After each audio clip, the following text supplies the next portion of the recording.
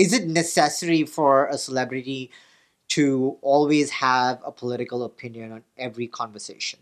Do they have to take a stand? They're artists at the end of the day.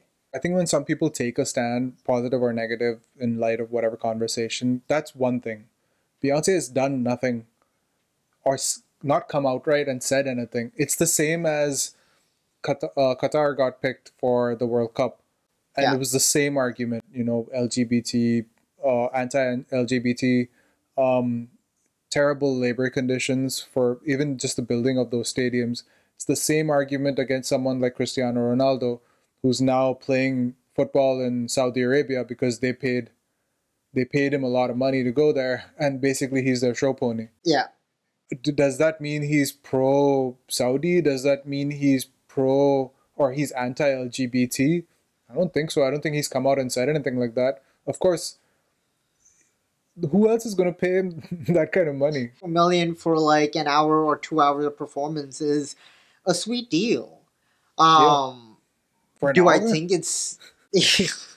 That's I'm still like, my mind is just blown by.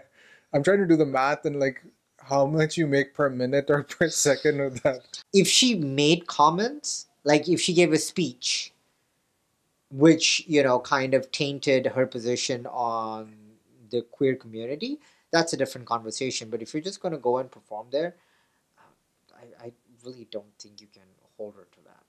I don't know. I, I, after watching a whole World Cup in Qatar, uh, people are protesting at the beginning before it happened. There was yeah. all the protests about everything, and then once it's over, it's like, wow, that was the best final I've ever watched in a World Cup. It was about the football.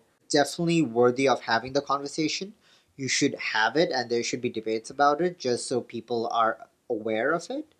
But I think uh, Beyonce, I think this is how she makes her money. That's her business. She made that choice. She can, she can be held accountable for it. Sure, you can try, but I don't think she's guilty of anything there.